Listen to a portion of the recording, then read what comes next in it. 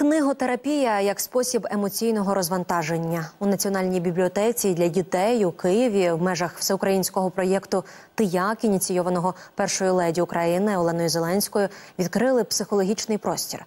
Там відвідувачі можуть отримувати допомогу психолога безкоштовно. І не лише юні книголюби, а й їхні батьки.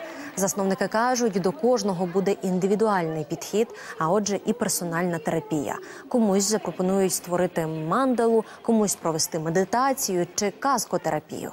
А хтось зможе написати цілий твір розповідь про все, що накопичилося в душі. Гроші на облаштування простору надала швейцарська агенція в рамках реалізації проєкту Психічне здоров'я для України.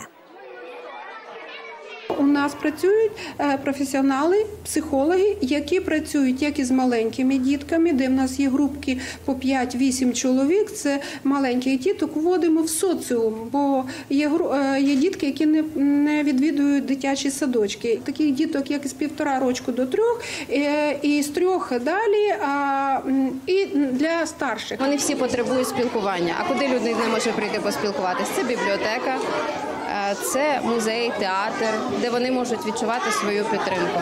Тому е, я думаю, що бібліотека саме той простір, де ми можемо відчувати це, підтримувати одне одного, ділитися емоціями та бути тою рушійною силою, аби знаходити мотивацію.